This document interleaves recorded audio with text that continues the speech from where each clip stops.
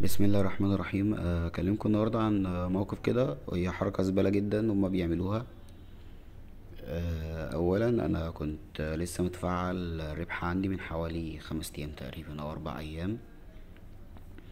ففرحت جدا. المهم دخلت على يعني يوتيوب عشان أتفرج على الناس اللي قبلي هما إيه اللي حصل معاهم عملوا إيه عشان ياخدوا مثلا الأرباح أو يبتدوا يحققوا أرباح تانية. وإزاي إن أنا أفعل جوجل ادسنس وفي اللي هو اد موب ده عشان برضه أفعله. فاتفرجت على ناس يعني مش يعني مش عايز أقول اسمها عشان مثلا ما يزعلوش أو ما يقولوش إن أنا بروج ليهم. أنا الناس دي معرفهاش بس هم ناس محترمين جدا هم اتنين اتعاملت معاهم. المهم يعني ما علينا باختصار. فأنا جيت آه، من ضمن الفيديوهات قالك إن أنت لازما هما كان زمان كانوا تلات طرق إن أنت عشان تسحب الفلوس بتاعتك. إنما في طريقة اتشالت اللي هي بتاعت إن أنت يعني جوجل أو Google AdSense ده بيبعت لك شيك كده بالمبلغ عن طريق إيه؟ Western Union فأنا زمان يعني كنت فاكر إن في فرع وكده جنبي فلقيت الطريقة دي اتحذفت ما بقاش فيه إلا يا إما إن أنت يعني يكون عندك حساب وكده. فأنا جيت سألت إزاي يكون عندي حساب؟ قال لك بتروح البنك ويعني تفتح حساب والأهم حاجة الاهم إن أنت يكون عندك حساب أصلا إن الحساب ده يكون بيقبل آه، تحويلات آه، بالعملة الأجنبية. فأنا عندي يعني حساب قديم مع HSBC وكده فكلمت البنك خدمة العملاء وكده هم ناس يعني هم محترمين. خدمة العملاء بتاعتهم بصراحة ممتازة جدا وأمان بعيد عن بنك آه، يعني البنك الأهلي.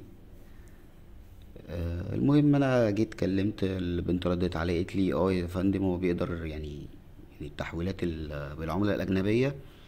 قالت لي بس أنت مش هينفع تاخدها آه، بالقيمة بتاعتها إن هي دولار. لأ أنت هتاخدها مثلا مثلا لو الدولار قالت لي أنت هتاخده بقيمته.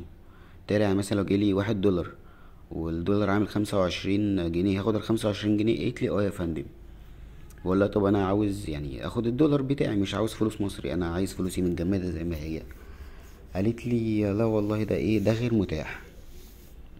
المهم قلت لها تمام قشطة يعني وكده فجيت لسه رسالة جاية لي يعني لسه شا... مش فاكر جايلي من إمتى والله بس يعني من امبارح أو أول امبارح تقريبا لسه جيت كده بقراها النهارده ما خدتش بالي منها قوي لما جات لي آه هي أهي دلوقتي إن هو أول حاجة آه يرجى العلم انه تم زيادة رسوم. هامش الربح على المعاملات بالم...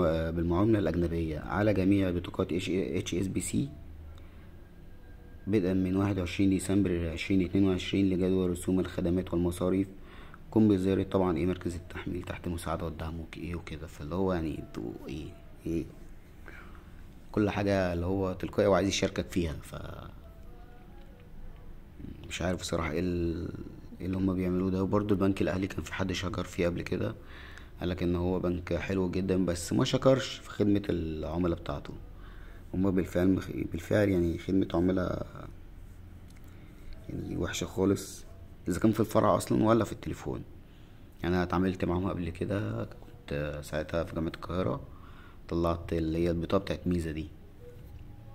خدمة سيئة تتصل بيسيبوك بالساعتين تلاتة على التليفون.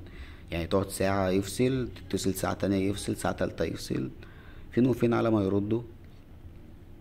جيت طبعا أتعامل مع بنك مصر لقيته موال تاني خالص. بنك مصر ده هو ده مش بنك مصر ده يعني ده لو بنك يهودي ولا إسرائيلي هم يتعاملوا بأحسن من كده بكتير. هم ممكن يطلعوا لك فيزا يعني هو طلع لك الفيزا يقول لك بعد كده لا دي مش تبعنا يا فندم. وأنا كان ليا معاهم مشكلة يعني هم قالوا لي آه آه، الكارت بتاعك هو عليه اللوجو بتاع بنك مصر وكل حاجة بس هو مش تابع لبنك مصر. بقول له معلش ده اللي هو إزاي؟ قال لي يا فندم الجهة اللي جابت لحضرتك ال- الكارت هي المختصة بتفعيله. كلمت الجهة ديت بعد ما ردت عليا بصعوبة برضو. آه، قال لي لا ده هو دلوقتي انت اتحولت لبنك مصر. بس والموضوع خلص في القرية الذكية يعني ان أنا رحت هناك الإدارة بتاعتهم ذات نفسها. ف كل حاجة عمالة تزيد وكل حاجة بقت زفت خالص. انت لو جايلك دولار مثلا هو ياخد منك نص دولار تقريبا اللي هو من لا شيء. واصلا الضرايب الحوار اللي هم عاملينه ده هم أصلا ملهمش كده. يعني ليه الدولة هنا في مصر تاخد مني أنا فلوس هي ما دفعتليش فيها جنيه ولا قرش واحد؟ يعني هي لو دافعالي قشطة. ضرايب من حقي إن أنا يعني ده حق عليا إن أنا أدفع. زي مثلا أجر محل وأعمل نشاط فيه فماشي. يعني بطاقة ضريبية والسجل وقشطة. إنما أنت مش جاي دافعلي جنيه أصلا وجاي تشاركني في الفلوس اللي جاي داخلة لي أنا فده يعني لا كده اوفر وبلحة متوصي بينا على الآخر.